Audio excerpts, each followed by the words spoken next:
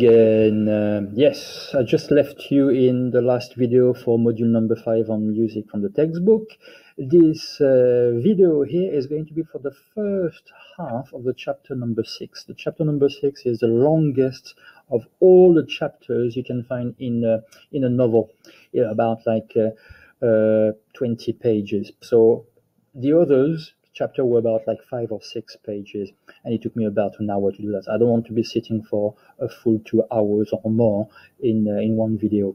So I'm going to uh, split it in two. Okay, so you're going to receive that in two installments. Okay, so let's not waste any time and let's go for that. That's chapter number six of L'étranger. Let's look at the question first. So for the chapter number six, very straightforward. It's a very very busy. Okay, uh, it's a simple. Uh, I would say in terms of all the actions, it's a very simple and straightforward unit. Very very, easy. However, it's a lot of details. So can you summarize this chapter in ten bullet points? Okay. And now you have read chapter 1, 2, 3, 4, 5, and 6, and it's part 1 of the textbook, is self-contained. Okay. Can you decide or uh, can you decide all the themes and concepts that you have managed to gather in uh, in, a in this chapter and the previous five? Okay. Theme could be I don't know love, how love is being portrayed there. Uh, friendship, how friendship is being portrayed, etc., etc., etc. Now, the last thing you need to do is going to be quite important for, for you is to get a bit uh, get a bit of information in regards to the novel and the author. Okay, so for the author, the most important is try to put that in context. So he wrote the book in 1940s, 41. Okay, what happened during that time? Why did he write it? Okay, did he want to convey a certain message? That's the thing there. And then after you can look at the um, the, the book kind of message conveying, but then after you can concentrate on the uh, the artist, the novelist, the writer. Okay, that's Albert Camus. A bit of his biography. Born, died, achievement, reward, style, important work, was influential or not, etc., etc.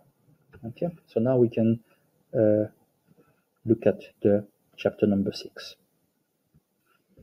As I told you, the chapter number six is uh, is long.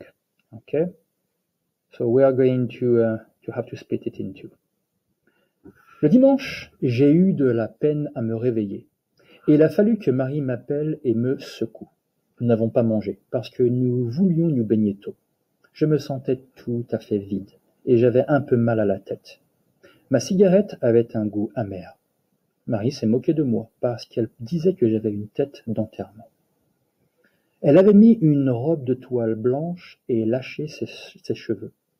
Je lui ai dit qu'elle était belle, elle a ri de plaisir. So I'm just going to tick off every single time. Okay, I'll look at uh, one of the vocab and I will do that possibly in dark green. So j'ai eu de la peine. J'ai eu de la peine is depending, okay, the way you're looking at it. Avoir de la peine is to grieve something. It's not really grieving the death of someone. It's to grieve. Is to find something difficult. You can also use that when you're having difficulty to do a certain task. For example, let's say that you have to do a maths homework and you find it difficult to do. You could say, oh, it was difficult. Say, oh, I struggled to do it.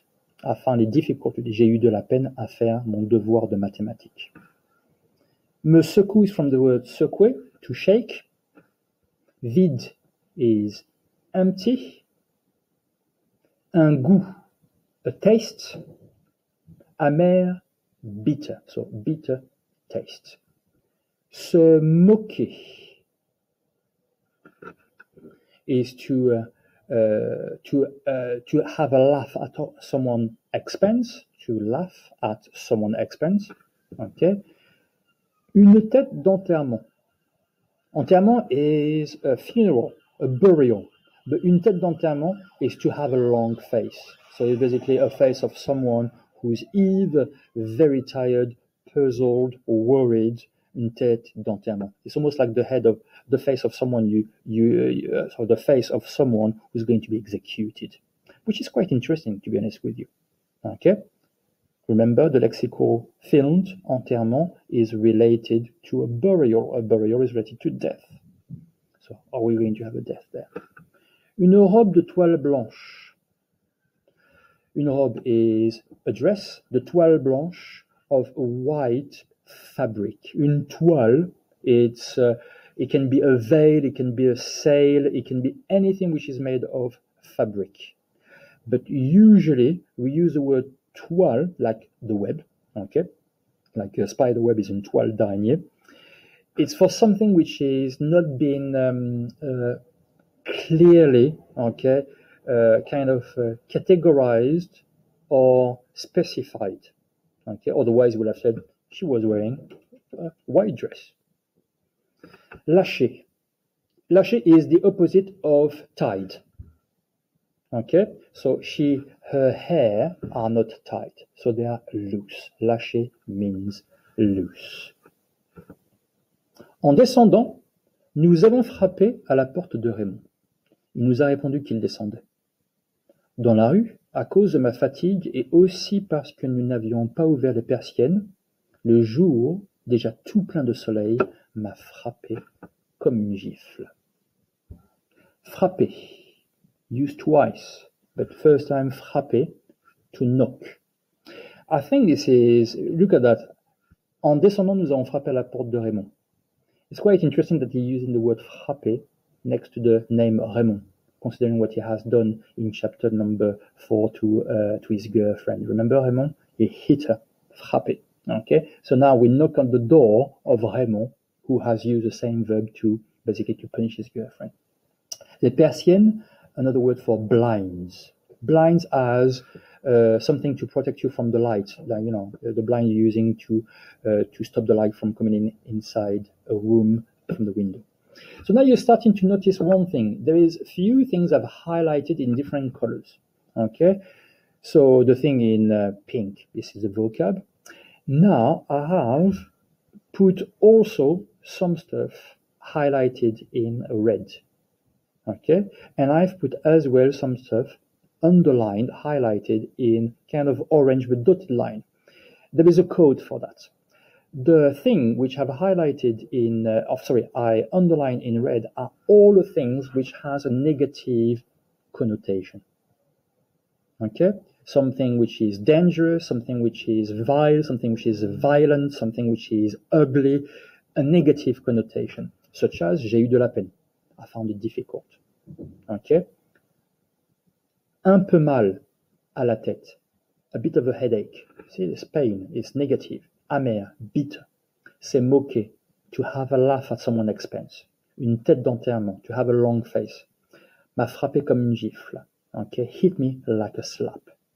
So uh, it's just because I wanted you to see all the iteration. I wanted to start to basically to for you to look at the uh, lexical field. And now the one we have in orange are the one which I've used only for colors because there is a lot of color references in this chapter. So now we continue. Elle, Marie sautait de joie et n'arrêtait pas de dire qu'il faisait beau. Je me suis senti mieux et je me suis aperçu que j'avais faim. Je l'ai dit à Marie et qui m'a montré son sac en toile, ciré, où elle avait mis nos deux maillots et une serviette. Sauter, to jump. Oops, sorry, that's in green. To jump. Je me suis aperçu. I noticed. Avoir faim. To be hungry. Toile. You that toile is some piece of fabric. La toile cirée. We have seen that before in the unit when Raymond invites uh, Meursault to eat and he wipes, okay, the oiled cloth. In toile cirée, it's a cloth which is kind of plasticky, so you can wipe it with water without damage, damaging it. Maillot.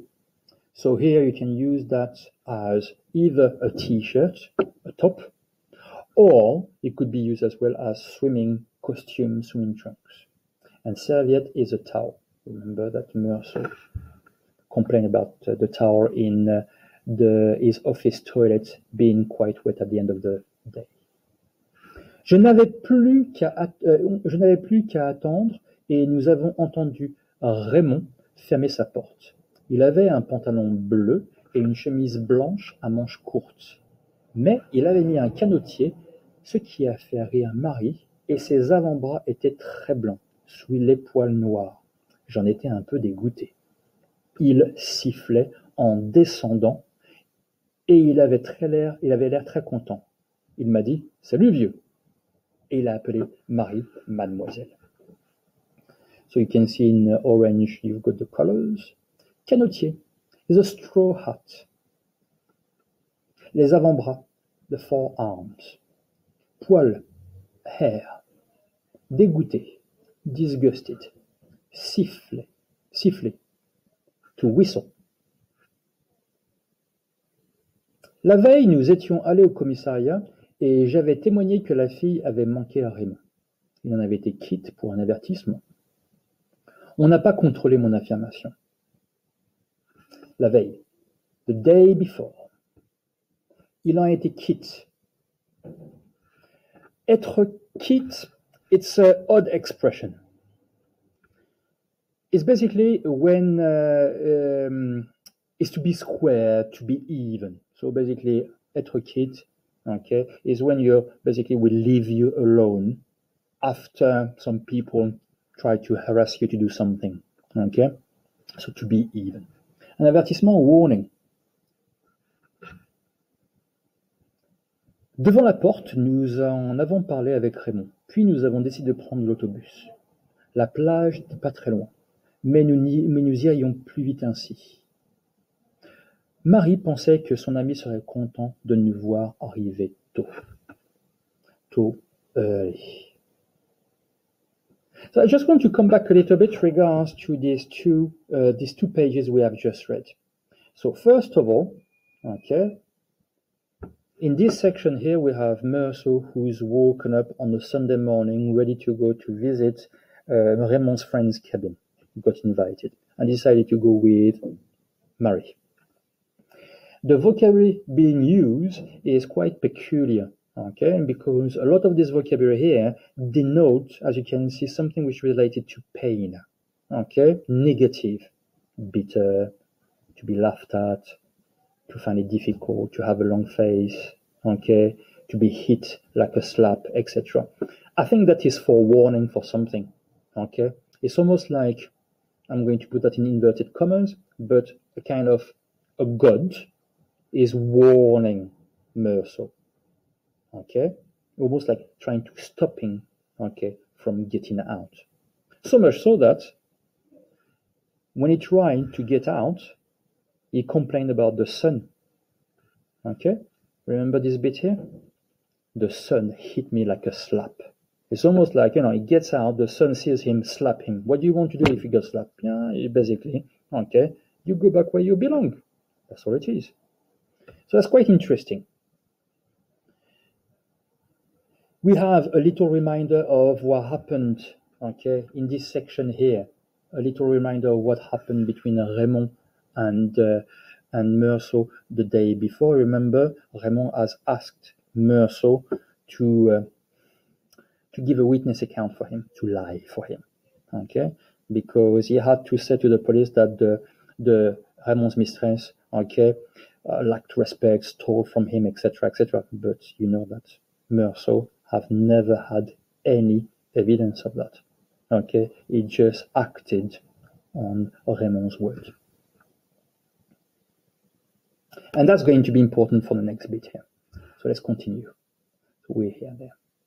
Nous allions partir quand Raymond, tout d'un coup, m'a fait signe de regarder en face. J'ai vu un groupe d'Arabes adossés à la devanture du bureau de tabac. Ils nous regardaient en silence, mais à leur manière, ni plus ni moins que si nous étions des pierres ou des arbres morts. Raymond m'a dit que le deuxième à partir de la gauche était son type, et il a eu l'air préoccupé. Il a ajouté que, pourtant, c'était maintenant une histoire finie. Marie ne comprenait pas très bien et nous a demandé ce qu'il y avait. Je lui ai dit euh, euh, que c'était des Arabes qui en voulaient à Raymond. Elle a voulu qu'on parte tout de suite. Raymond s'est redressé et il a ri en disant qu'il fallait se dépêcher. So, tout d'un coup, suddenly. Ok, euh, m'a fait un signe. Ok, to make a sign. Adossé. Adossé, you can recognize the word do, back. Okay, so they've got their back on the wall. Adossé is to have your back on something. La devanture, you can recognize devant, which means in front. This is la devanture du bureau de tabac is the window of the tobacconist. À, leur manière, in their ways. Ni plus ni moins que si. No more, no less than if. Nous étions des pierres, stones, des arbres morts, trees, préoccupés, preoccupied. C'était des Arabes qui en voulaient à Raymond. En vouloir is to be mad at. J'ai redressé. I, ah, sorry, Raymond s'est redressé. Meaning, okay, he straightened, he straight, straightened himself. So basically, he stood up and makes himself straight. Okay, and so dépêchait to hurry. So as you can see in this uh, section, okay, we have some concerns for Raymond, but we could also have some concerns for Marie and uh, Merceau. Why? Because they're traveling with Raymond. I know they want, okay, to have revenge from Raymond, but unfortunately, they are caught in the middle now. Nous sommes allés vers l'arrêt d'autobus, qui était un peu plus loin, et Raymond m'a annoncé que les Arabes ne nous suivaient pas. Je me suis retourné. Ils étaient toujours à la même place, et ils regardaient avec la même indifférence l'endroit que que nous venions de quitter. Nous avions pris l'autobus. Raymond, qui paraissait tout à fait soulagé, n'arrêtait pas de faire des plaisanteries pour Marie. L'arrêt d'autobus, the bus stop, l'endroit, the place, the location, soulagé, to be relieved, des plaisanteries, jokes. J'ai senti qu'elle lui plaisait, mais elle ne lui répondait presque pas. De temps en temps, elle le regardait en riant. So we have the word presque here, which means almost. Nous sommes descendus dans la banlieue d'Alger. La plage n'est pas loin de l'arrêt d'autobus, mais il a fallu traverser un petit plateau qui domine la mer et qui dévale ensuite vers la plage. Il était couvert de pierres jaunâtres et d'asphodèles tout blancs sur le bleu déjà dur du ciel. Marie s'amusait à en éparpiller les pétales à grands coups de son sac de toile cirée. Nous avons marché entre des petites, euh, files de petites villas à barrières vertes ou blanches, quelques-unes enfouies avec leurs vérandas, sous les tamaris, quelques autres nues au milieu des pierres. Banlieue, the suburbs, on the outskirts, traverser, to cross, un plateau. Un plateau is a flat area, so like in English, a plateau. Dominer, to dominate, so basically which is you have a good view a good overall view, so here qui domine la mer, a good overview of the sea. Qui dévale. Ah, dévaler is a weird word. Dévaler is can be used as running. Okay, it's basically the action of uh, walking or going somewhere very very quickly. Okay, going somewhere very quickly. Couvert, covered. Okay, uh, asphodel is a type of plant okay, usually white. Dur, hard. Éparpillé, to scatter, à grands coups. Okay, with big kicks, with big hits. So basically, what she does, she's scattering all the petals. Okay, uh, when she's basically just, you know, waving her arms with kicking. Okay, kicking the uh, the, the plants with. Uh, bag. Des files de petites villas, rows of little villas, à barrière verte, barrière is a kind of a gate, enfoui, submerged, so which is basically buried. Sorry, I prefer the word buried because submerged means underwater. So buried, okay. Tamari is a kind of small tree, okay. Nu, naked, and au milieu, in the middle of. So now you can see that now the colors are becoming more and more, okay, kind of um, uh, predominant, okay, in the description, especially here, okay. And I've decided to add as well as a color, okay, la mer, because la mer is a specific color, green, blue. We can even go for the romantic views that it is blue. And I've also done the tamari, okay. I believe the tamari are, I can't remember the color of them. I think they are yellow or something like that. It's very easy to uh, to find that. So it's also a different color. It's like you, if uh, you have plenty of description of colors and all of a sudden you see a rose, most likely you're going to think, even if you don't see the row, the rose, the flower, you get uh, red. It's almost like that. Okay, you see what I mean? It's almost like you, you, you it's like me telling you like uh, dandelions. Dandelions, you can say, oh, yellow petals. Okay, daisies, white petals. So you can use those plants, okay, to trigger color if you prefer. Let's continue. Avant d'arriver au bord du plateau, on pouvait voir déjà la mer immobile et plus loin un cap somnolent et massif dans l'eau claire. Un léger bruit de moteur est monté dans l'air calme jusqu'à nous. Et nous avons vu, très loin, un petit chalutier qui avançait, imperceptiblement, sur la mer éclatante. Marie accueillit quelques iris de roche. De la pente qui descendait vers la mer, nous avons vu qu'il y avait déjà quelques baigneurs. Léger, light, something which is not very loud. Moteur, an engine. Un chalutier is a small fishing boat. Imperceptiblement, we basically uh, imperceptiblement is uh, silently or we can't perceive any noise or any movement. I think you can say imperceptible, something like that. Éclatante. Glo- so we can use as this one. Éclater is to burst. So the sea is bursting, but here is used as, you know, bursting with the colors, okay, bursting with the size, almost like, you know, like amazing. Iris de roche, but an iris is a kind of uh, flower. Can't remember the color, okay, but I have put that because it does refer to a color.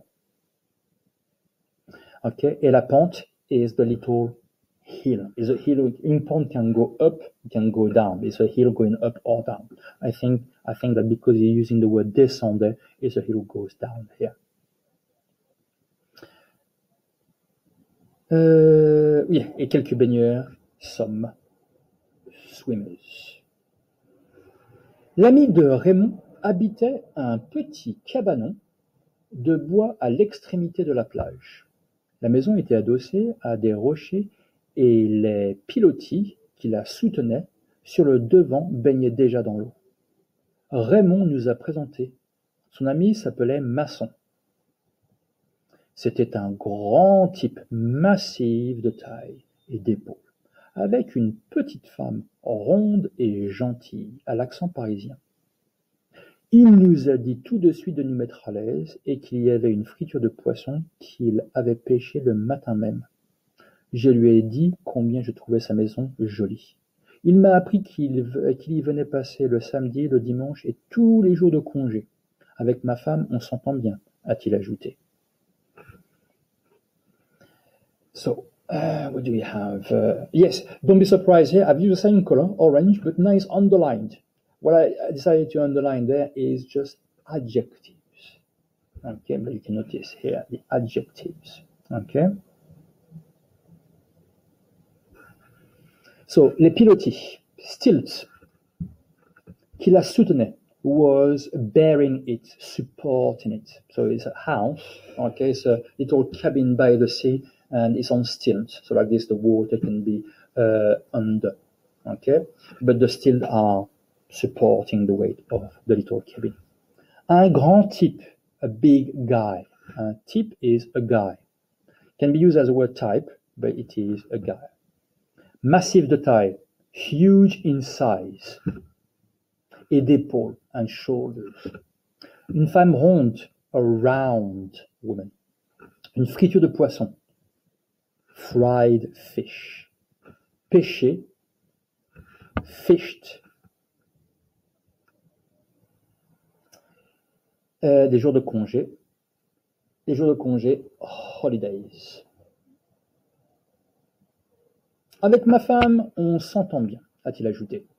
Justement, sa femme riait avec Marie. Pour la première fois, peut-être, j'ai pensé vraiment que j'allais me marier.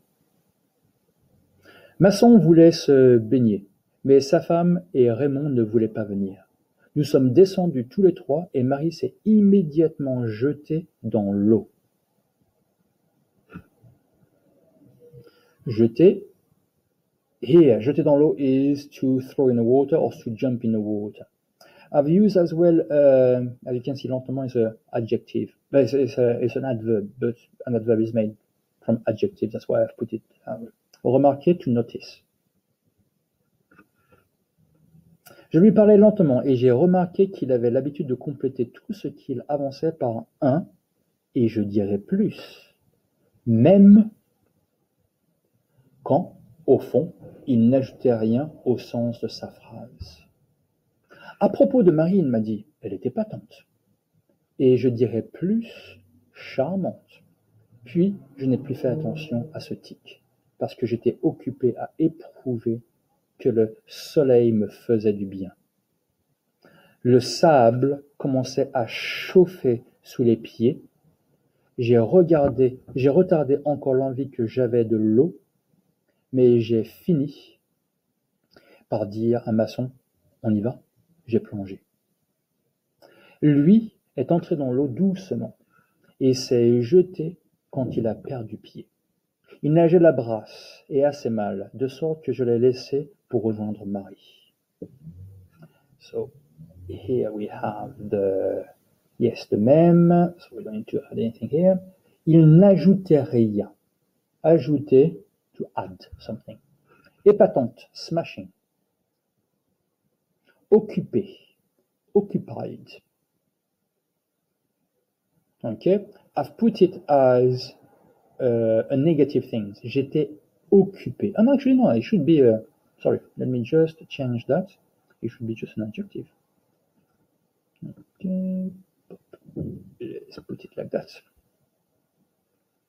À éprouver, to feel. Le sable, the sand. Chauffer, to warm, sous, under, les pieds, the feet. Retarder, to delay something. J'ai plongé, I dived, I jumped in. Now, you must be uh, wondering why I have now underlined as well some stuff in green. Okay, so uh,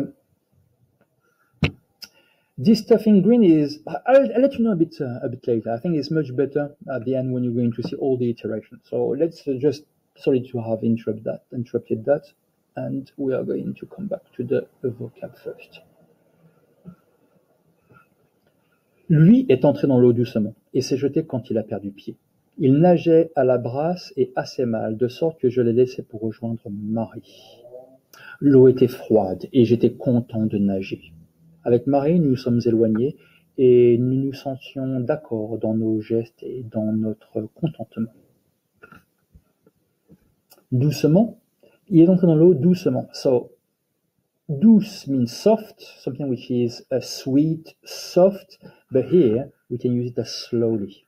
Il a perdu, he lost footing, il a perdu les pieds. Nager la brasse. Nager la brasse is breast, uh, breast strokes. Je l'ai laissé, I left him, pour rejoindre, to join Marie. L'eau était froide et j'étais content de nager. Avec Marie, nous sommes éloignés et nous sentions d'accord. Ah, sorry, I've done this one bit. Éloignés. Ok? Nous sommes éloignés. Further. We went further. Contentement, joy. Au large, nous avons fait la planche et sur mon visage tourné vers le soleil, le, euh, vers le ciel, le soleil écartait les derniers voiles d'eau qui me coulaient dans la bouche. Nous avons vu que Masson regagnait la plage pour s'étendre au soleil. De loin, il paraissait énorme. Marie a voulu que nous nagions ensemble. Faire la planche. La planche is when you're standing still, flat in the water, and you are basically on the surface and you're floating. Mon visage, my face. Des voiles d'eau. Veils of water. That is obviously is a kind of a picture, metaphor. If you look at the water when it's run on your face or your hands, it's wet obviously, but it looks like it is a kind of uh, a veil, okay, a piece of fabric. Obviously, it's going to dry up and everything, but this is exactly the same. Uh, this is the, the way it's intended there. La bouche, the mouth. Regagner, okay. Well, you can use it. Regagner means to win again, but here regagner is to get back, to go back. Regagner la plage is to go back to the beach. S'étendre, to lie down. Sole- uh, sorry, paresser. Paresser. Be careful, it sounds like paresseux. Paresser to seem, ça se paraître. Derrière, behind. Ah, I'm sorry, we haven't done this bit here. Euh, je me suis mis derrière elle pour la prendre par la taille et elle avançait à la force des bras pendant que je l'aidais en battant des pieds. Le petit bruit de l'eau battue nous a suivis dans le matin jusqu'à ce que je me sente fatigué. Alors j'ai laissé Marie et je suis rentré en nageant régulièrement et en respirant bien. Sur la plage, je me suis étendu à plat ventre, près de Masson, et j'ai mis ma figure dans le sable. Je lui ai dit que c'était bon, il était de cet avis.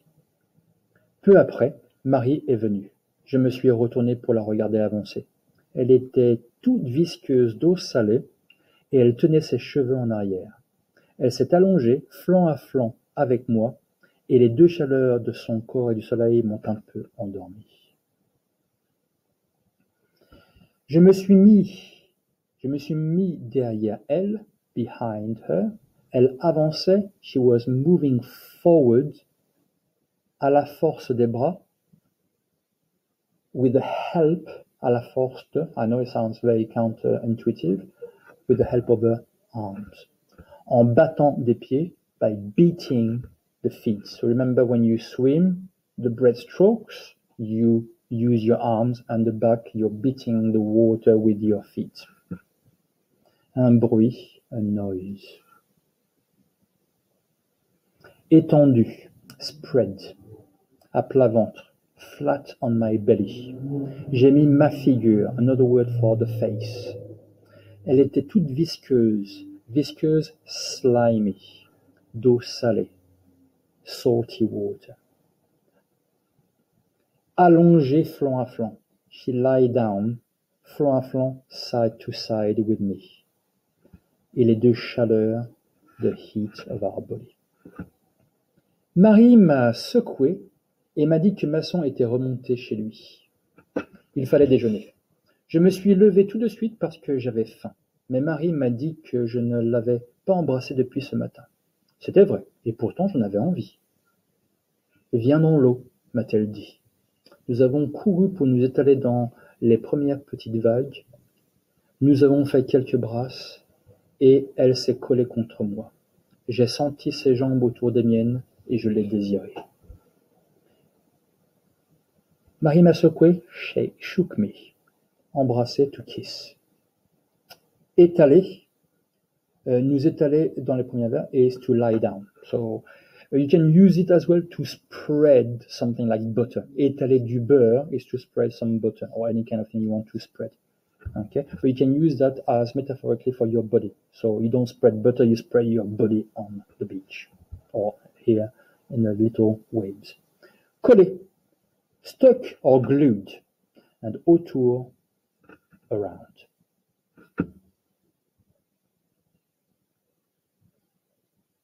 So we're going to stop up to this bit here, okay? Because after, as I told you, we're on page number, that's page number five out of 10, okay? So it's halfway through. And then after is totally different. So like this, we're not going to be confused regards to the things we're doing here, or the things they are doing here. Quand nous sommes revenus, Masson nous appelait déjà. J'ai dit que j'avais très faim, et il a déclaré tout de suite à sa femme que je lui plaisais. Le pain était bon. J'ai dévoré ma part de poisson. Il y avait ensuite de la viande et des pommes de terre frites. Nous mangions tous sans parler. Masson buvait souvent du vin, et il me servait sans arrêt. Au café, j'avais la tête un peu lourde, et j'ai fumé beaucoup. Masson, Raymond et moi, nous avons envisagé de passer ensemble le mois d'août à la plage à frais communs. Marie nous a dit tout d'un coup Vous savez quelle heure il est? Il est onze heures et demie. Dévorer, to devour, to eat. Okay, really quickly. Pommes de terre frites, fried. This is where the word frites comes from. It means fried. Sans arrêt, without stopping. La tête un peu lourde, lourde, heavy. Envisager, envisager, to envisage or to think about. À frais communs, shared expenses. Tout d'un coup, suddenly. Vous savez quelle heure il est? Il est onze heures et demie. Nous étions tous étonnés, mais Masson a dit qu'on avait mangé très tôt et que c'était naturel parce que l'heure du déjeuner, c'était l'heure où on avait faim.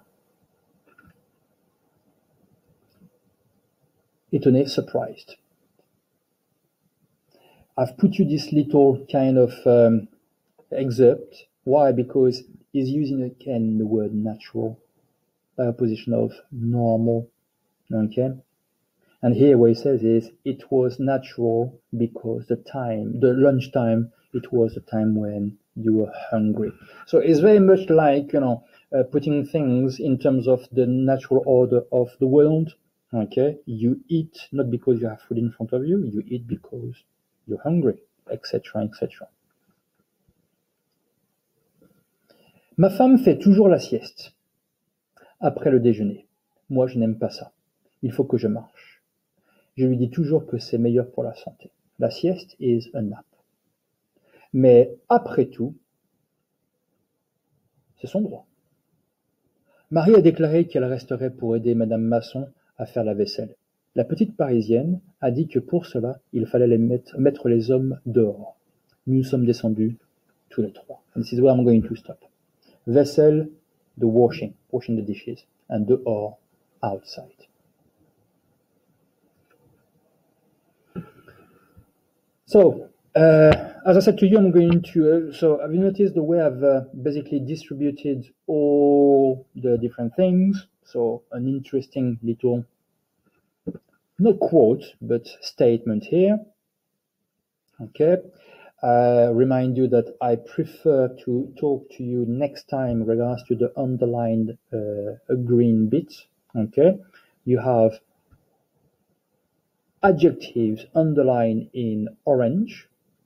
You have colors